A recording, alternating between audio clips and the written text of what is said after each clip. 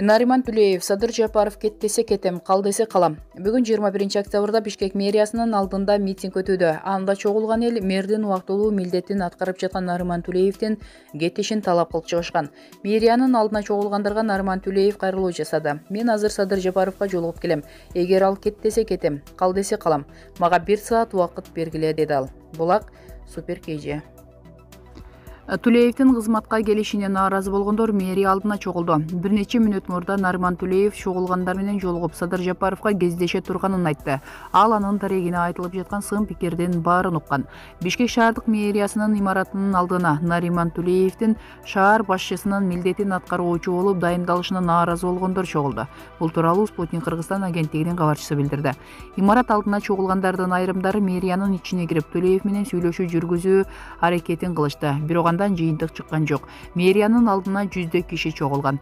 Чогулгандардын көбү төлеевдин мэрдин милдетин аткаруучу болуп келишин мыйзамсыз деп эсептешет мэрдин милдетин аткара турчу адамды шаардык кеңеш же садыр жапаров дайындашы керек. Эгер түлеев шаарга жардам бергиси келсе анда коомдук башталгычтагы кеңешчи боло берсин дешти чогулгандар. Бир нече мүнөт мурда түлеев чогулгандар менен жолугуп президенттин милдетин аткаруучу жана премьер министр садыр жапаровго кездеше турганын билдирди. Ал өзүнүн дарегине айтылып жаткан сын пикирдин баарын уккан. Төлеевдин тарапташтары нааразы болгондорго кайрылып мэрдин милдетин аткара турган адамга убакыт жана мүмкүнчүлүк берүүнү сунушташты. Алардын айтымында кыш жакындап калгандыктан шаарды жылуулук сезонуна даярдаш керек. Булак спутник kg абылгазиев финполго суракка чакырылды мурдагы премьер министр мухаммедкалый абылгазиев экономикалык кылмыштарга каршы мамлекеттик кызматка суракка чакыртылды. Бул тууралуу бүгүн жыйырма биринчи октябрда азаттык радиосуна мекеменин маалымат кызматы кабарлады кайсы иш боюнча чакырылганы айтылган жок. Бир күн мурда финпол абылгазиевке өлкөдөн чыгууга тыюу салган. Быйыл июль айында аталган кызмат өкмөт сатып алган тез жардам автоунаалары боюнча иликтөө жүргүзүп баштаган сентябрь айында абылгазиевди коронавирус пандемиясына байланыштуу шалаакылык үчүн жоопко тартууну сунуш кылган арыз саламаттыкты сактоо министринин дары дармек жана медицина каражаттарын сатып алуу боюнча тендердеги алешемдик тууралуу финполиция тергеп жаткан ишке кошулганы кабарланган. Абылгазиев жыштык чырына байланыштуу июнь айында кызматтан кеткен. Булак ринг kg чоң казатчы асхат осмонов мэр болууга мен гана татыктуумун эл ушуну каалайт. Мындай сөздү чоң казат партиясынын мүчөсү асхат осмонов мэриянын алдындагы митинг учурунда билдирди. Нариман түлеевге кыйкырды мэр болууга мен гана татыктуумун. Сиздин ал жерде отурууга таптакыр моралдык укугуңуз жок деди ал. Буга жооп кылып нариман түлеев чырды бир гана талашып тартышуу жолу менен эмес тынчтык жол менен чечээрин айтты. Булак аргумент kg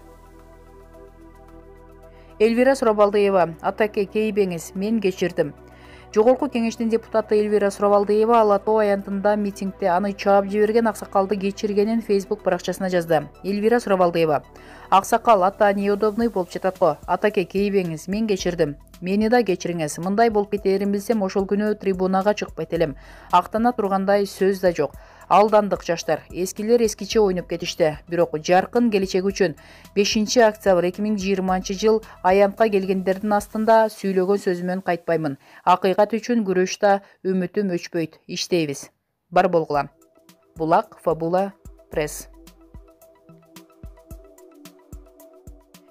Темирлан султанбеков өзүнүн жана матраимовдордун кармалышын салыштырды. Кечээ жыйырманчы октябрда укмк мамлекеттик бажы кызматынын төрагасынын мурунку орун басары райымбек матраимовду кармады. Кечинде биринчи май райондук соту анын баш коргоо чарасын карап эки айга өлкөдөн чыгууга тыюу салды. Жактоочусунун айтымында матраимов тергөө менен кызматташууга макул болду. Социал демократтар партиясынын өкүлү темирлан султанбеков социалдык тармактагы баракчасына бул окуя боюнча өз пикирин жазган мени камаганда террорист катары эле кармашты төрт күн камакта отургузуп коркутуп койдук деп ойлогонго. Мен коркпойм элдин колдоосу үчүн гана чыктым. Сасык саясатчылардын калп элдин астында упай топтош үчүн айтылган сөздөрү үчүн эмес. Раим атраимов кыргызстандан бир эле эпизодунда жети жүз миллион доллар кайтарышын талап кылганбыз. Эки миллиард сом берем десе эле элди сатып жиберели деп жатышат го антпегиле элдин ишенимин актагыла. Менин жана раим атраимовдун камалышыбызды айырмалап көрсөңүз сүрөттөн деп жазган султанбеков. Булак баркелде.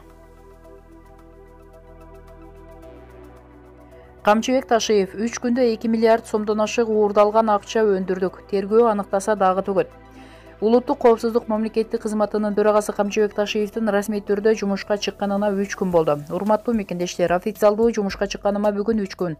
Үч күндө эки миллиард сомдон ашык уурдалган акча өндүрдүк. Тергөө аныкталса дагы төгөт мамлекетке зыян келтирген коррупционерлерден элдин акчасын кайтара баштадык. Бул башталышы гана. Буйруса көптөгөн эл жегичтер менин тизмемде турат. Баарын куустурабыз ушул коррупционерлерди куустуруу операцияларында бир топ укук коргоо органдарынын кызматкерлери бир сом дагы взятка алышпайт.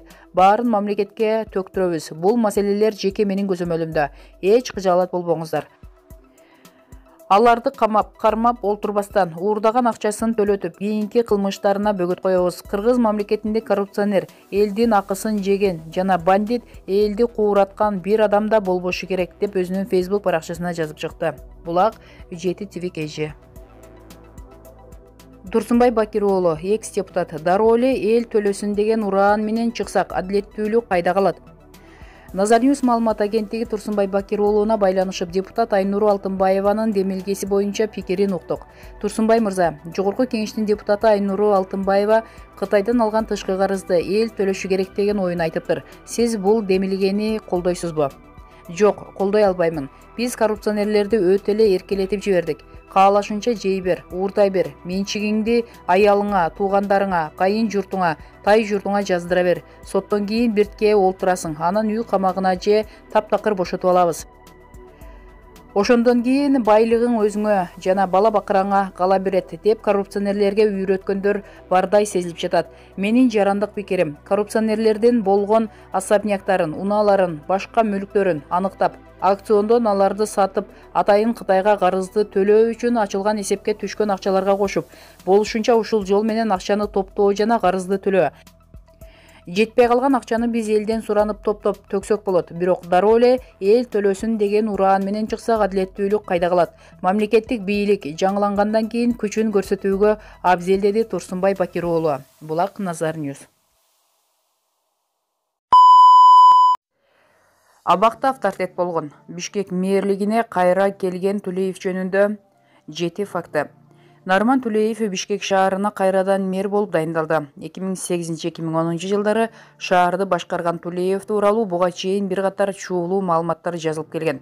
Ал журналисттерге берген маектеринин биринде алгачкы миллиондорун токсонунчу жылдарда эле тапкандыгын айтып берген. Бүгүн тулеев бишкектин биринчи вице мэри болуп дайындалып өз арызы менен кызматтан кеткен азиз сурахматовдон кийин мэрдин милдетин аткаруучу болуп отурат өмүр баяны нариман жүз алтымыш үчүнчү жылы жыйырма төртүнчү декабрда фрунзе шаарында төрүлгөн ал бир миң тогуз жүз сексен бешинчи жылы фрунзе политехникалык институтунун инженер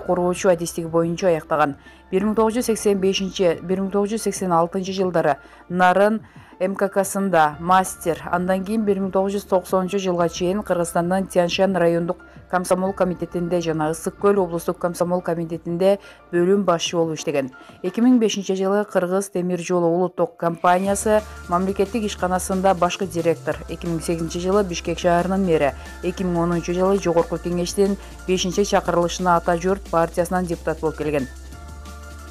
Өлкөдөн чыгып кеткен. Эки миң онунчу жылдагы апрель окуяларынан кийин бишкектин мэри нариман тулеев кызматтан алынып өлкөдөн чыгып кеткен. Ал эми ушул эле жылдын алтынчы апрелинде бишкектеги манас эл аралык аба майданынан кармалган сурак бир топ мөөнөткө созулуп андан соң камакка алынган.